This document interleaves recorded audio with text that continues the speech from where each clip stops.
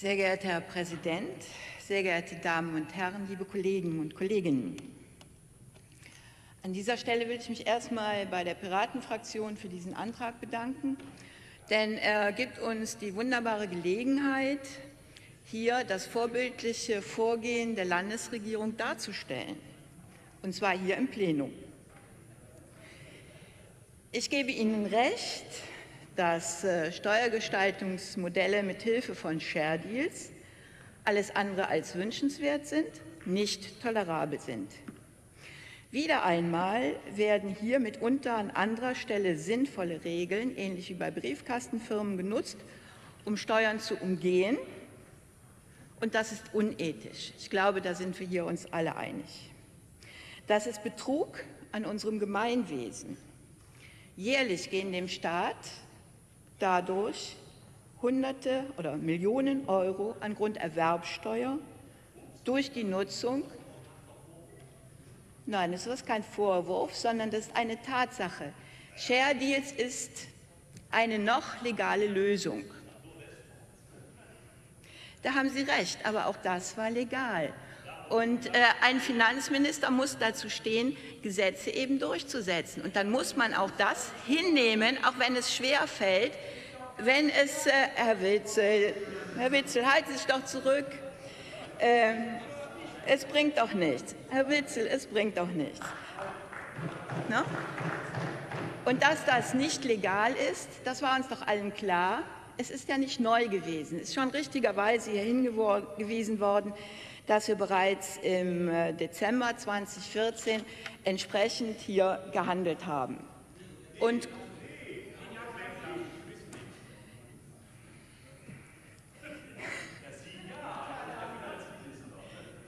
Ich glaube, der Finanzminister weiß auch, was Steuergerechtigkeit ist und wie man Steuergerechtigkeit umsetzt und verfolgt.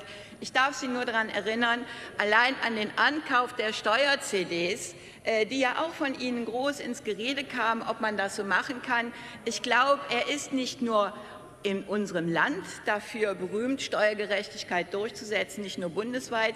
Ich glaube, das hat sogar mittlerweile europäische Ebene erreicht. Und das kann, kann sicherlich nicht jeder Finanzminister so für sich nachweisen. Ich meine, Sie haben jetzt äh, Sie haben jetzt fleißig recherchiert. Äh, Sie waren ja auch in unseren Sitzungen anwesend. Der Finanzminister hat berichtet. Und er hat sogar im August, September im Haupt- und Finanzausschuss äh, gesagt, Haushalt- und Finanzausschuss gesagt, dass er für eine 75-prozentige Lösung ist. Allein daran konnten Sie doch merken, dass Sie vielleicht mit diesem Antrag jetzt uns eine gute Vorlage liefern oder zu spät kommen. Eins von diesen Möglichkeiten ist drin. Ja, wenn es dann mal so einfach wäre, äh, dann könnten Sie auch noch weiter recherchiert haben. Nämlich es gab schon mal eine rot-grüne Bundesregierung, die hat den äh, Anteil von 99 Prozent auf 95 Prozent äh, gesenkt und damit natürlich auch gedacht, das Problem wäre gelöst. Aber äh, Leute, die Steuerumgehungstatbestände suchen, werden sie finden. Und das ist dann unsere Aufgabe, darauf hinzuweisen und sie zu lösen. Den Antrag der CDU, ja, äh, es ist ja weniger ein Antrag zu Share Deals, sondern zu Steuersenkungen. Sie wollten sicherlich noch mal hier in dem Gespräch vorkommen.